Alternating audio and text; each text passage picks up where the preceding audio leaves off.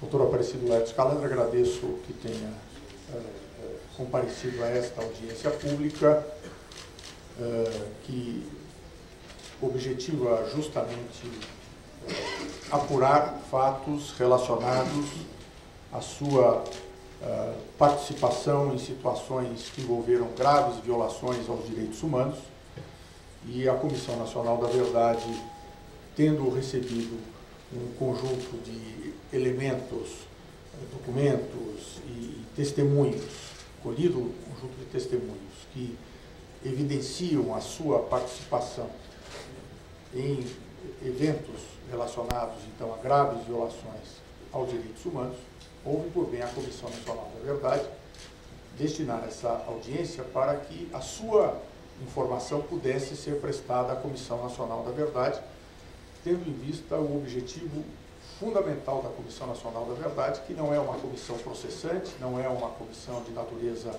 jurisdicional ou inquisitorial, mas é uma comissão que tem a responsabilidade hoje eh, legal, inclusive, de construir um quadro fático que procure revelar para a sociedade brasileira os eventos relacionados, então, a essas graves violações a direitos humanos.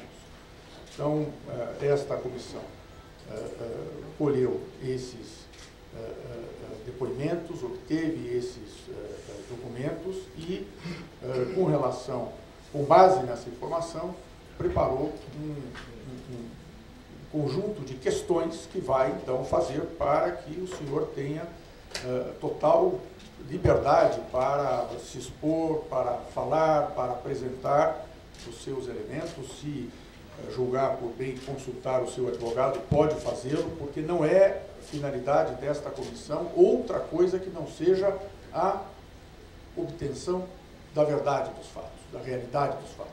Portanto, aqui é isto que nos move eu tenho clareza, por conta desses testemunhos que foram prestados, que é o momento que deve eh, fazer necessariamente com que emerjam dos presentes muitas emoções, é natural, né?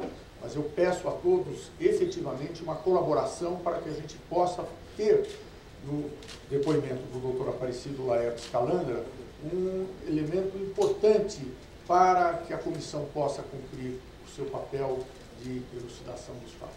Portanto, eu, eu, eu solicito, em meu nome, em nome do doutor Zé Carlos Dias, da comissão, que a gente possa conduzir a, a, a, a essa, essa, esse depoimento de uma maneira que seja o mais proveitoso possível nesse momento e para o propósito que tem a Comissão Nacional da Verdade. Eu peço inicialmente, doutor Alan, que o senhor se qualifique eh, diga qual é a sua, a sua atividade atual, por favor. Meu nome é Aparecido Laerte Escalanda. Eu sou delegado de polícia aposentado, não tenho outra atividade a não ser uh, receber aliás, não trabalho em outra. Muito obrigado. Eu vou pedir então ao Dr. José Carlos Dias que vá conduzindo as questões para que uh, o senhor possa se manifestar. Queria, antes de mais nada, saudar o, o meu colega, doutor Paulo Esteves, que nos honra com a sua presença e que dá, está dando assistência jurídica ao seu constituinte, doutor Calanda. Doutor Calanda, o senhor podia informar quando é que o senhor se tornou delegado de polícia? Em que unidades o senhor serviu? Eu me tornei delegado de polícia em 70 eu servi no, em Santos, servi em São José do Rio Preto, e depois eu fui para o DECAP, distrito, né? São Miguel, Itaquera, e depois eu fui designado para o DOPS. O senhor trabalhou então no DOPS durante quanto tempo? Eu fiquei no DOPS durante muitos anos, não lembro ao certo. Em que período? nos anos, já nos anos 70? 70 a 80, depois eu fui para a Polícia Federal, fiquei lá 8 ou 9 anos. E no DOI-CODE, o senhor participou das equipes do DOI-CODE? Não, eu fui designado pelo diretor do DOPS para dar assessoria jurídica ao Comando Militar do Sudeste. que era o comando do segundo exército. A única função nossa era assessorar o comando do segundo exército. Fora isso, não tinha atividade nenhuma. É importante para essa comissão, doutor Calendra, precisar a, a, relação do senhor com o DOI-COD. Eu vou passar às suas mãos e do seu advogado um auto de exibição e apreensão.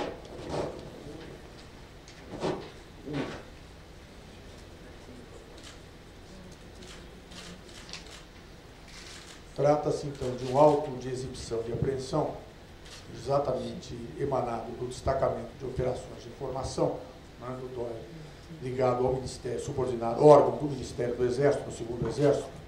Aqui a, a relevância não está, obviamente, na matéria, mas é que consta como autoridade, no caso, uh, a sua pessoa, como uh, doutor Aparecido Laertes Calandra, que é autoridade deste ato administrativo do DOICOD. Isso era... Inclusive, a primeira assinatura, só para concluir, doutor Calandra, depois o senhor poderá, obviamente, explicar, tudo o que nós uh, tivermos documento, nós vamos passar ao seu advogado para que examine. O senhor é o primeiro signatário como autoridade. E eu tenho aqui vários outros documentos de mesma natureza, né, uh, do ano de 75, em que consta sempre a figura do senhor como uh, autoridade. Né? Eu queria que o senhor então esclarecesse o vínculo que uh, tinha com o DOICOT. É o que eu disse, a, a, minha função no Comando Militar do Sudeste era justamente de assessor jurídico. Isto aqui era um dos trabalhos que a gente fazia na segunda sessão do Segundo Exército. Toda a parte jurídica era destinada para a segunda sessão e a gente lá lavrava. O senhor era conhecido como a Capitão Birajara? Negativo. Nunca usei esse codinome. O senhor participava dos interrogatórios? De maneira nenhuma. A minha função era só de assessoria jurídica. O senhor nunca interrogou ninguém? Não, não, não era a minha função.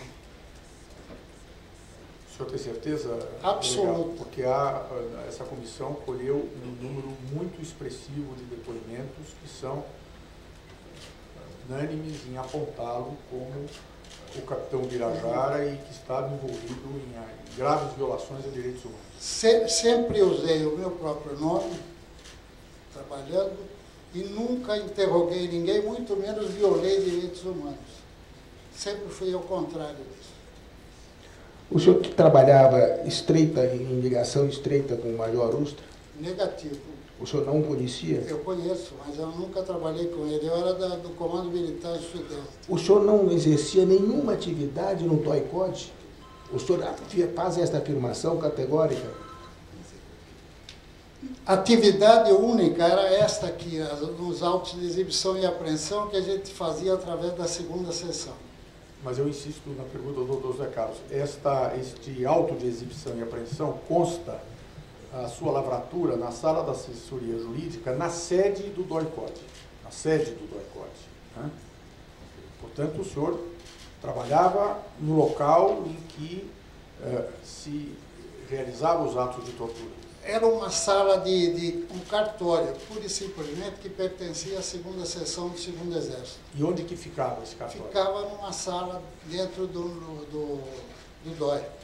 Portanto, no, dentro... Pois não. Nós não tivemos nenhum contato com a parte de interrogatório, a parte policial. O senhor não sabia o que acontecia? Nada. Durante quanto tempo o senhor trabalhou no DOICOD? Cerca de oito anos. Não tenho certeza.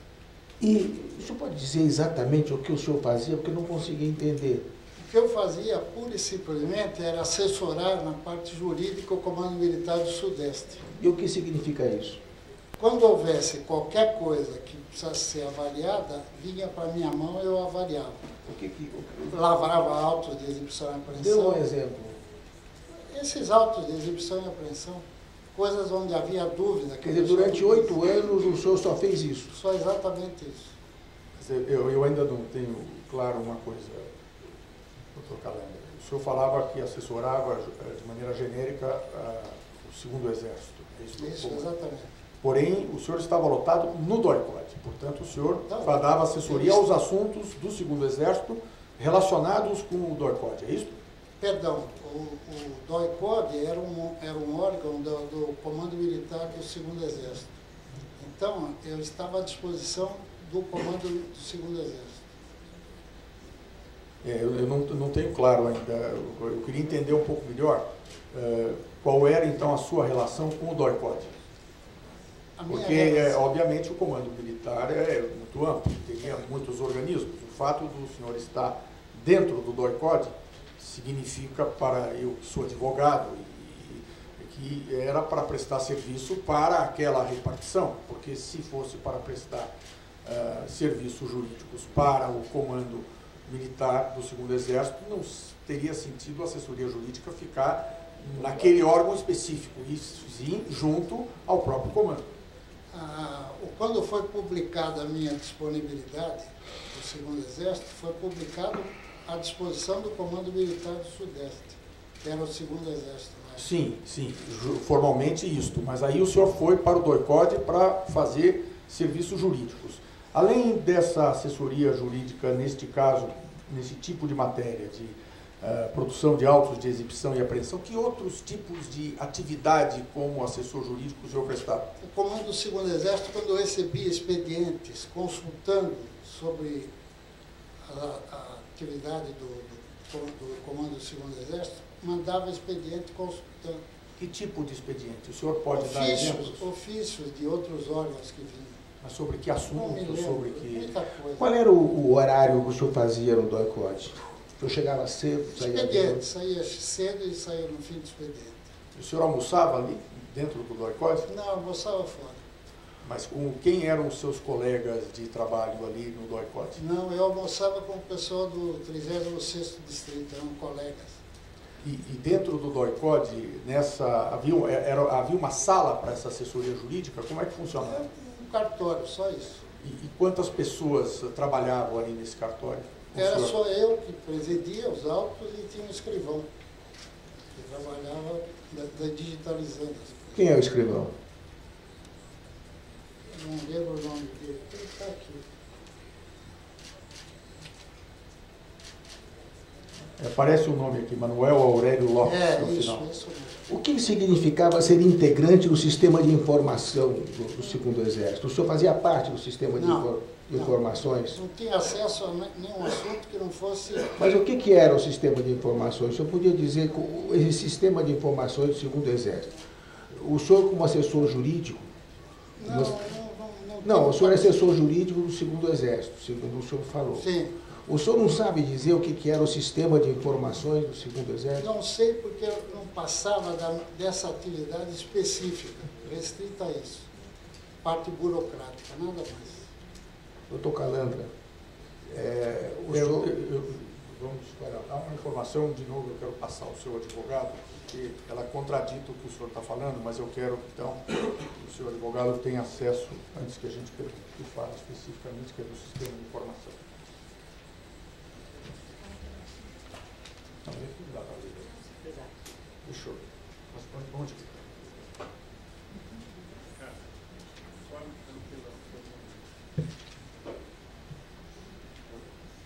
Eu estou vendo aqui. Eu vou então.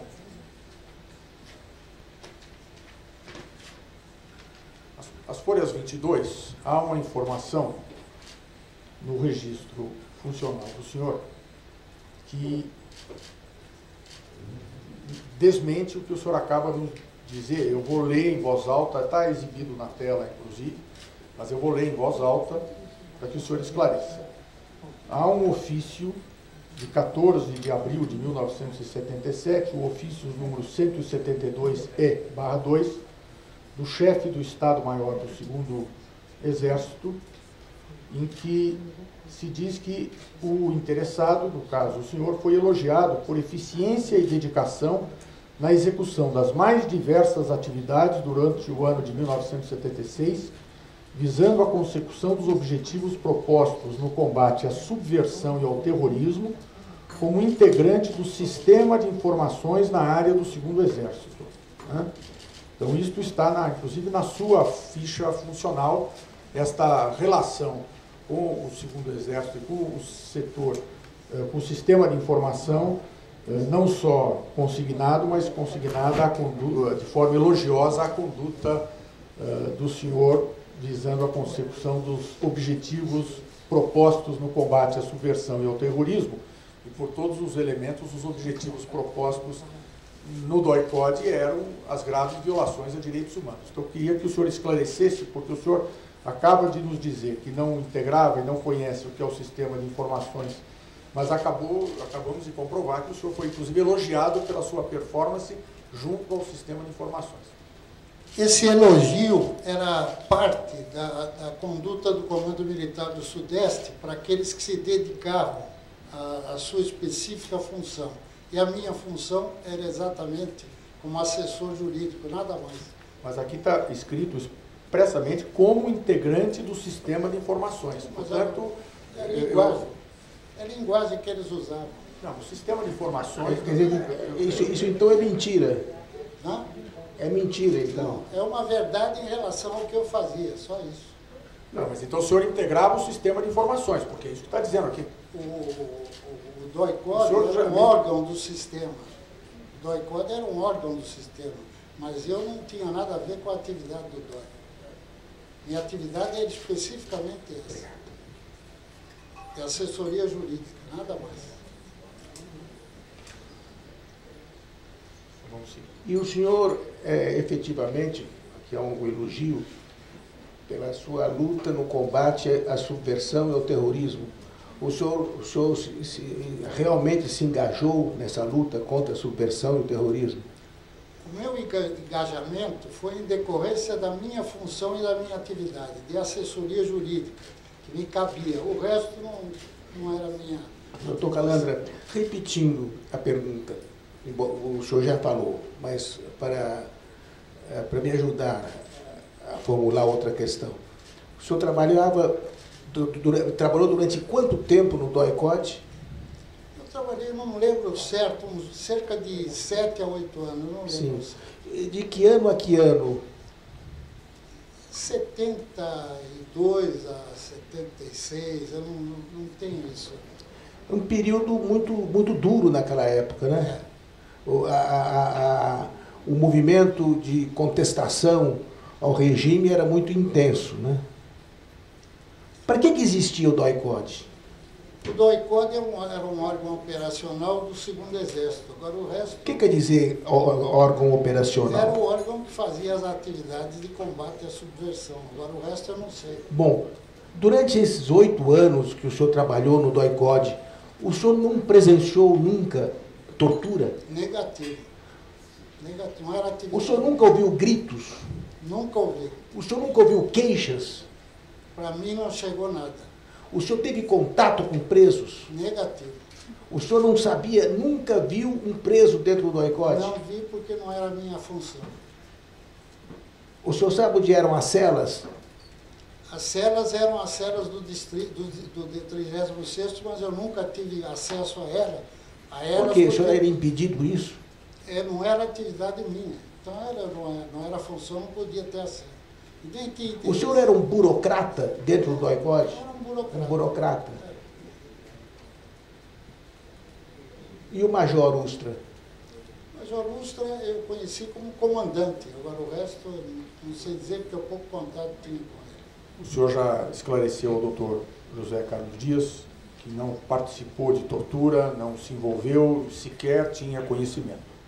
Nós colhemos uma série de depoimentos que apontam a sua pessoa como é, participante e mesmo re responsável por atos de tortura. Então eu vou fazer questões que se referem justamente de maneira muito específica sobre esses depoimentos para que o senhor negue ou, ou reconheça. O senhor conheceu Nádia Lúcia Nascimento? Segundo ela, quando foi presa sob acusação de subversão em 74, o senhor a torturou. Esta, para refrescar a memória, é esta senhora. Não lembro dessa pessoa, não participei de nada disso. O senhor está vendo a imagem dela? Estou vendo, estou vendo ali.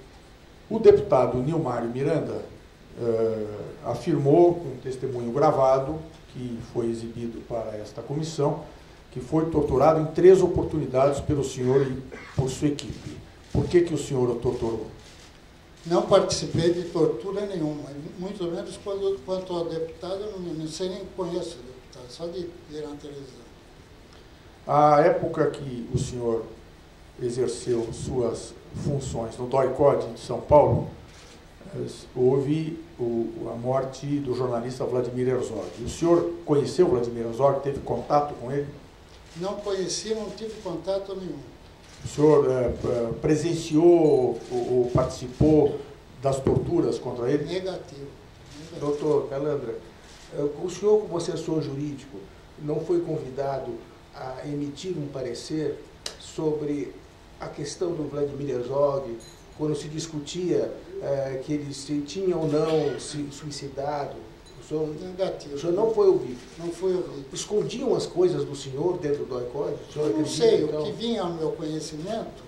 Não, o senhor trabalhava no DOI-CODE.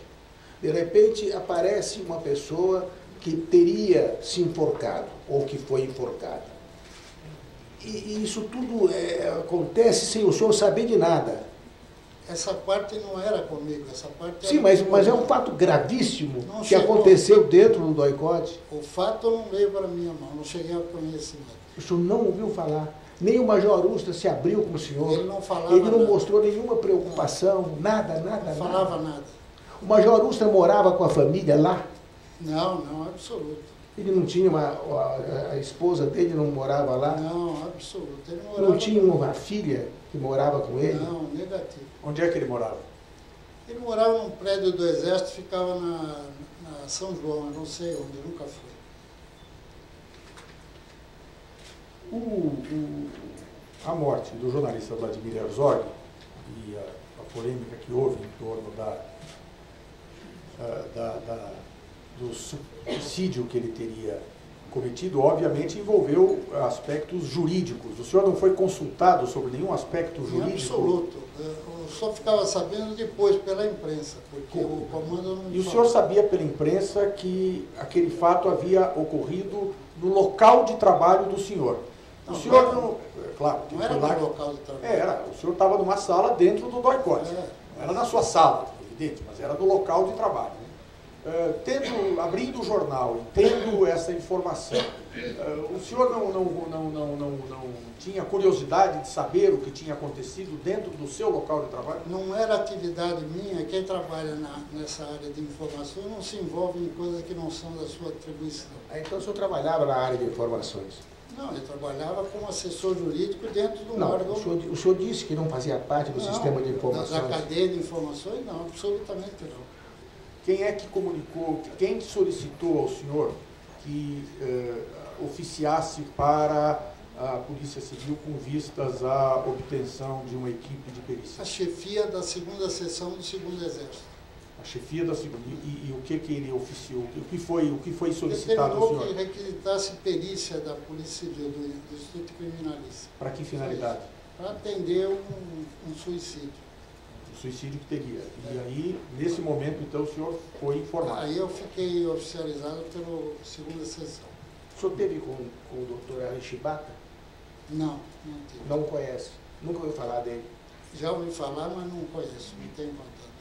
Esta solicitação da, da perícia para a Polícia Civil, com o uso da sua condição de intermediário, eh, foi feita, foi formalizada por um documento, por um ofício? Foi feito um expediente para direto para a polícia, para a polícia científica. Eu não me lembro como foi, se foi por telex, eu não lembro. Certo. E aí o senhor é que teria então tomado essa providência. Mas era atribuição, portanto, em, que condição que o senhor eh, eh, determinou essa, adotou essa medida administrativa? A segunda, se, segunda sessão do Exército me acionou e determinou que eu fizesse. Mas acionou em função da sua condição de assessor jurídico assessor... ou porque era o delegado não, de não, polícia? de assessor jurídico. E isto ocorreu em outras oportunidades, porque houve muitas mortes ali. Né? Não, não. Que eu me lembro só essa, não tive outra. E esta o senhor, então, atuou no sentido Nesse de tomar essas providências? Acionar por telex, eu não me lembro como foi. O senhor conheceu Carlos Nicolau Danielli, dirigente do Partido não. Comunista do Brasil? É esse que está na foto aí? Não, né? não conheci. ele, o senhor pode esclarecer alguma coisa sobre a morte dele, sob tortura? Negativo, não, não me lembro da pessoa. Não, O senhor conheceu Hiroaki Torigoi?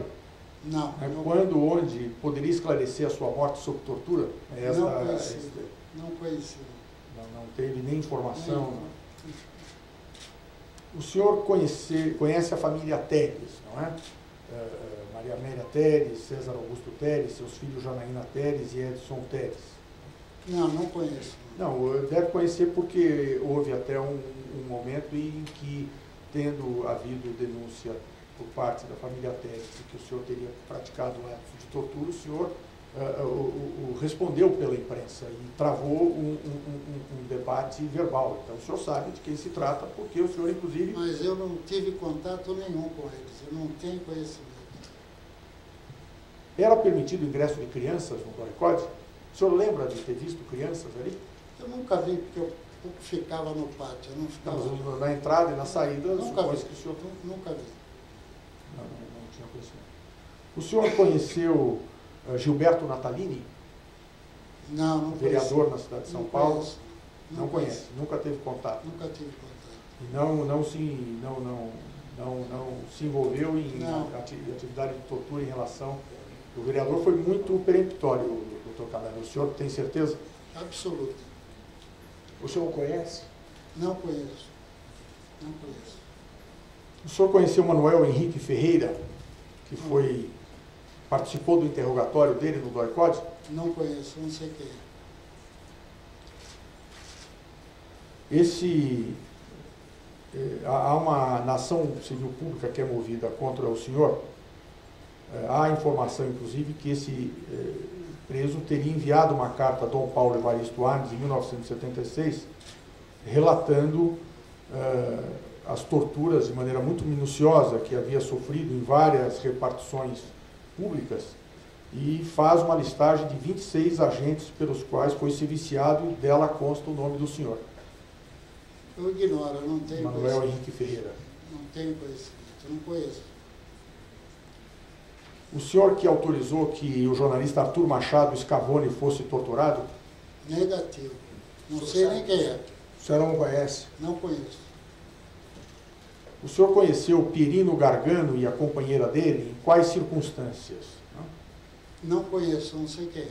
Porque o senhor integrou o Departamento de Investigações Criminais, o DEIC, em 1968. Não? Não, está tá enganado. Nunca trabalhei no DEC. Nunca trabalhou no DEIC. Foi diretamente do DOPS para a Do DEC distrito para o DOPS. Ah, perfeito. O senhor conheceu Maria da Conceição Coelho Sarmento da Paz?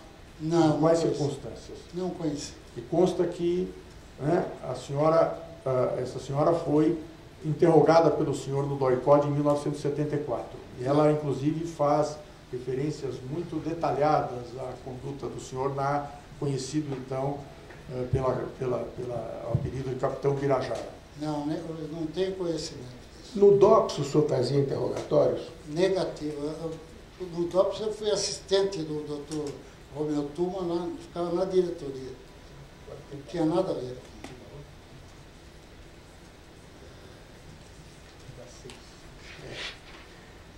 Então, eu ia justamente perguntar isso. Em que circunstâncias o senhor conheceu o doutor Tuma?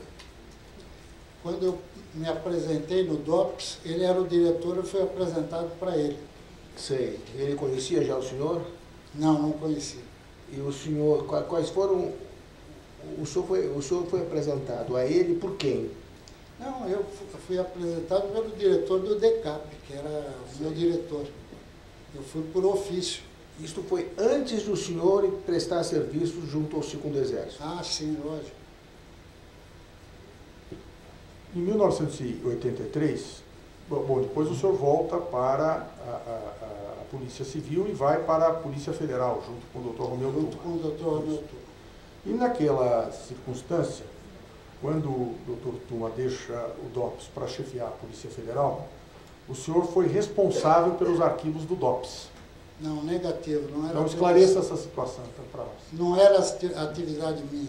Qual era a atividade que o senhor fazia Assessoria do superintendente. Era assessor do superintendente da Polícia Federal? da Polícia Federal. Que classe o senhor era como delegado? né? Qual era a sua classe? Eu era a primeira classe já. E os arquivos do DOPS, eh, que haviam sido transferidos, então, Os arquivos para lá, onde é, que se, onde é que se encontravam? lá na rua Piauí, na sede do DOPS da Federal. E quem era responsável por esses arquivos? Na época era um delegado que foi conosco, que eu não lembro dele, que já morreu, inclusive. Como é que o senhor não, Não é lembro, não, não lembro. Ele é- morreu Porque- já faz uns oito anos. Porque há muitos pesquisadores que trabalharam nesse- nesses arquivos posteriormente que constatam que o senhor teve o controle desses arquivos Não, de não é quando verdade. houve a transferência do DOPS para a Polícia Federal. Não é verdade, eu não tinha contato com arquivo nenhum. Que, e que tipo de assessoria o senhor prestava para o delegado Tuma? Assuntos da Polícia Civil que eram solicitados na Federal tinham para mim para que eu providenciasse apresentações, etc. Doutor. Calandra, quais eram os outros delegados que estavam sendo, tra- trabalhavam no DOICOD? Seus colegas. Delegado lá só tinha eu. Eu não tinha contato. E era o único que não fazia interrogatório. Interrogatório não era com a gente. Mas não era a função principal do delegado, não é interrogar? Não, não. Não é? Absolutamente. E, e quem que fazia interrogatórios no DOICOD? Eu não sei, porque eram várias equipes, eu não participava, de, não tinha contato nenhum com eles. Mas o senhor não sabe, não poderia nos indicar uma não pessoa? tenho, não tenho. O senhor trabalhou durante oito anos no DOICOD? Militar do Exército. Só militares do É, Exército. que eu saiba, não tinha nenhum civil trabalhando Civil, lá. que eu saiba, não. Durante oito anos, o senhor trabalhou no DOICOD e o senhor não teve contato com ninguém. Negativo, não tive. Não teve contato não com tive ninguém. contato com ninguém. O senhor entrava e saía do Meu DOICOD? contato era com o pessoal do DOPS, né? direto com o doutor Tuma, com o pessoal do DOPS. Não, mas isso no período do DOICOD. No DOICOD. Não, ali senhor- não tinha contato com ninguém. Não tinha contato, Só cumpria o que me mandava. Em 95, o senhor foi cogitado para assumir o DETRAN paulista durante o governo Mário Covas. Se espe- É. especulou muito. E em função da, de denúncias do grupo Tortura Nunca Mais, o governador Covas houve por bem não, não efetuar essa, essa designação. É, E isso também não, não houve, ah, houve uma cogitação para promoção para o DERNAR, que também não houve. Ah, o senhor entende que as autoridades do Estado, então o governador Covas, agiram de maneira leviana, inadequada, ao não, não considerar que o senhor não tinha nenhuma participação nesses eventos? Absolutamente. Eu acho que isso é uma, uma condição da carreira. Ser nomeado para uma função é uma condição da carreira. E quem decide é o executivo. Né? Não há o que.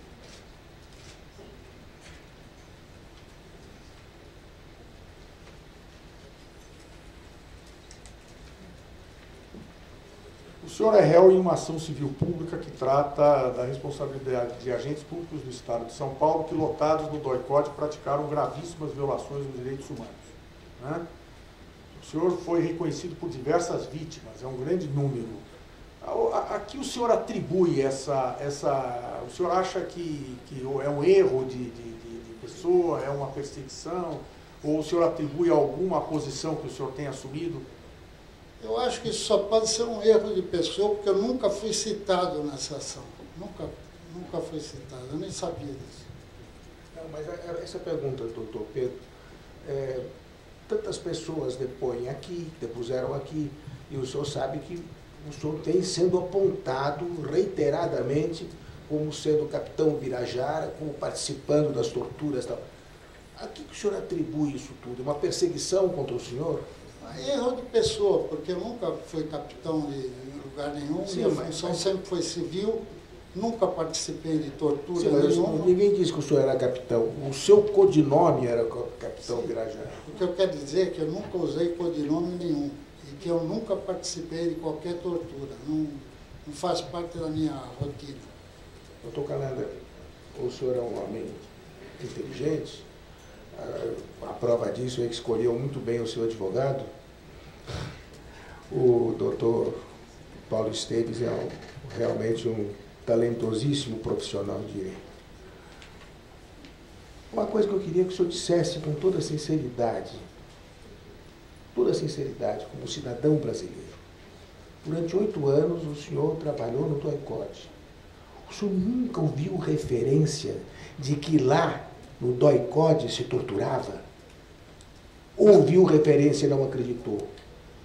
Eu nunca ouvi referência nenhuma a isso, porque o assunto não chegou para mim. Se eu tivesse ouvido. Mas, o, mas chegou para um número enorme de cidadãos que não trabalhavam lá dentro. Eu pergunto ao senhor, o senhor já ouviu alguma referência? O senhor diz, não, ainda que o senhor tenha negado e tenha dito, não, lá não se tortura, mas alguma vez o senhor viu referência a isso? Nunca, nunca ouvi e nunca vi nada que indicasse isso. Esse é o problema. Hoje, o senhor acredita que realmente havia tortura lá? Não acredito, porque eu não, eu não vi. Eu não posso não. falar uma coisa que eu não vi. E esses testemunhos todos? Esses testemunhos eu não sei. A pessoa fala o que acha que deve falar. Né?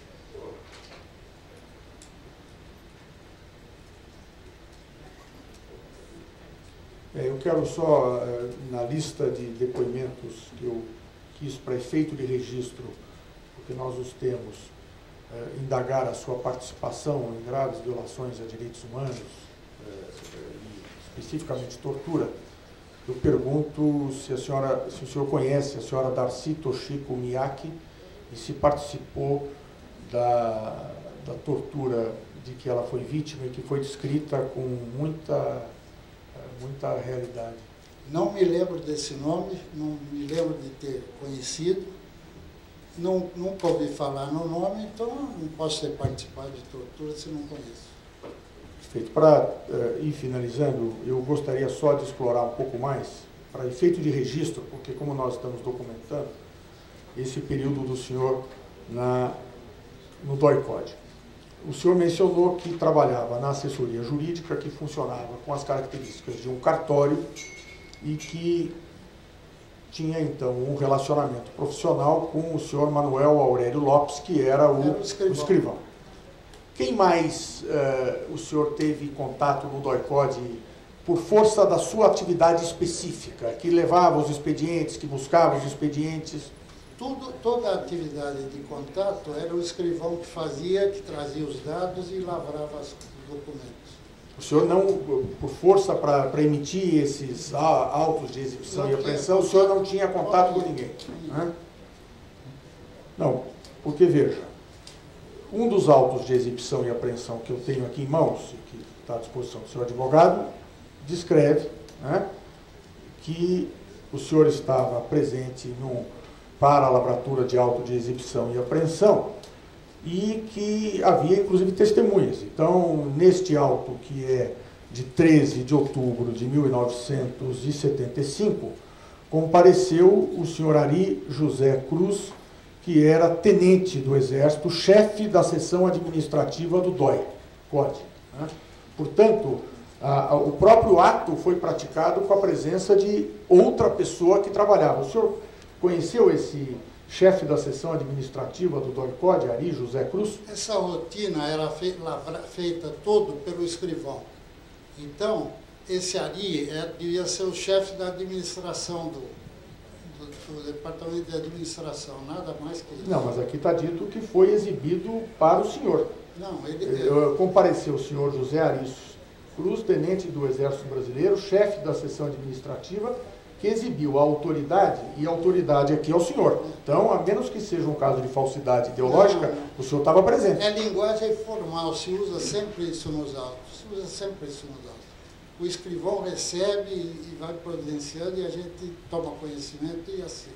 O senhor então não examinava se, se havia, se o que o escrivão Antes havia feito, ele, ele se, era, se era veraz ou não? Eu lia e mandava ele lavrar.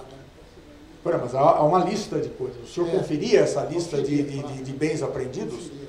Mas como se aquilo estava na posse do senhor Ari José Cruz? Porque esses, esses, itens não ficavam lá na... Não, não, ele ficava em outro lugar, mas Isso. ele passou para a assessoria jurídica. Passou o quê? A relação. Mas e, e, e aqui está dito que não foi passada a relação, aqui está dito que foram passados os autos Os objetos. Três volumes do livro denominado Obras. Escorridas de Lenin edição Problemas, um exemplar do livro intitulado El Único Caminho, e aqui tem uma lista de. É, a rotina de polícia judiciária é exatamente essa. O doutor Zé Carlos Dias conhece O senhor não tinha contato com isso? Não. Embora o senhor assinasse o documento dizendo que o senhor estava presente quando o senhor Ari José Cruz. Não, aqui está dito que sim, na presença das testemunhas, eh, estava presente quando o senhor Ari, eh, o tenente, entregou o material, o senhor disse que nem o senhor Ari estava presente e que nem esses documentos estavam Não, disponíveis ali. Foram entregues à assessoria jurídica, ao escrivão. Foram entregues à assessoria, é rotina isso. Não sei, o senhor assinou um documento Sim, dizendo claro. que o senhor estava presente quando foram Sim. entregues com o senhor Ari. Está dito aqui. É, ele era administrativo. Então o senhor conhecia ele. Conhecia de vista, não tinha contato com ele porque ele não ficava comigo. Então já, já além do Manuel, já achamos mais uma pessoa que o senhor conhecia no DOI. Estamos indo bem. Quem mais? Não tinha contato. Doutor Calandra, não é crível que o senhor trabalhando oito anos, oito anos numa repartição pública que não era muito grande, não, tinha tivesse tido conhecimento com ninguém. A realidade é toda essa que eu falei. Não tinha Outros policiais civis que trabalhavam lá. Não Por conhecia. Renato D'Andréia, o senhor não conheceu? Não, não conhecia. Não Não. conhecia. O Otavinho, o senhor conheceu? Não, negativo. Mas sabe quem era? Sei que é por causa da morte dele. Né? Exato. Ele não era delegado? Ele era delegado da Polícia Civil. Doutor, Doutor Orestes Rafael Rocha Cavalcante, o senhor conhecia? Não, não conheço. Nunca ouviu falar. Não. os interrogatórios lá eram tomados como? Eram equipes. O senhor mencionou que havia equipes de interrogatório. Não, eu não mencionei. Quem trabalhava no interrogatório era o pessoal do Exército. Eu não, não tinha Sim, contato. quantas equipes havia lá? Não sei. Nunca tive contato com isso. Quer dizer, o que, o que me, me- impressiona, doutor é porque o senhor está fazendo crer que num local em que tinham policiais civis, portanto especializados em, em- interrogar, os, os policiais civis não praticavam isso, isso ficava tudo nas mãos do Exército. O comando era do Exército, a atividade Os era do interrogadores também eram, eram militares. Não sei, eu sei que tinham só militares que eu saiba. Eu não, não conhecia, não sabia nome. Como que eu saiba? Ou sabe ou não sabe? Não, eu não tive contato nenhum com eles. Não tive contato. Não O senhor era proibido de entrar nas Era dependências? proibido. Era- O senhor era proibido? Era proibido. Por que, que o senhor acha que o senhor era proibido? Não sei. Quem que proibiu? O comando do, da a segunda seção do segundo exército determinava que a gente não tivesse acesso àquilo que não fosse da atribuição da gente. Por que, que o senhor acha que havia essa Eu proibição? não acho, eu não tenho que achar, eu cumpri a E missão, o, senhor, o senhor aceitava isso tranquilamente? Lógico, lógico, lógico. O senhor nunca se desabafou com o doutor Tuma sobre isso? Negativo, negativo. Não levava para o doutor Tuma problema nenhum. É, Uma última, um último tema que eu quero explorar, antes de encerrar minha participação, doutor Calandré, é a relação do senhor com o Ustra. O senhor mantinha contato com, com o Major Ustra? Simplesmente quando eu me apresentei no- na segunda sessão do segundo exército, foi feito um despacho me apresentando ao coronel Ustra. Foi aí que eu o conheci. Depois não tinha mais contato Mas nenhum. no dia a dia o senhor não encontrava com ele? Negativo. Como é que o senhor sabia, então, onde ele morava?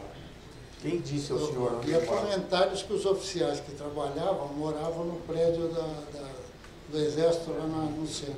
Só isso. Mas o senhor sabia que ele morava ou sabia que Os o... oficiais, os oficiais. O senhor não sabia se ele morava? Eu não Não, sabia. porque quando, quando o doutor Zé Carlos perguntou o senhor sabia que o coronel mo- morava nas dependências do recorde, o senhor negou peremptoriamente, dizendo que Eu sabia. sei que não morava. Agora, eu, eu sabia que os oficiais moravam no prédio do exército. O senhor, o senhor sabia que o, do- que o Major Ustra era um homem muito religioso, fundamentalista? Absolutamente. Eu não tinha amizade nem contato.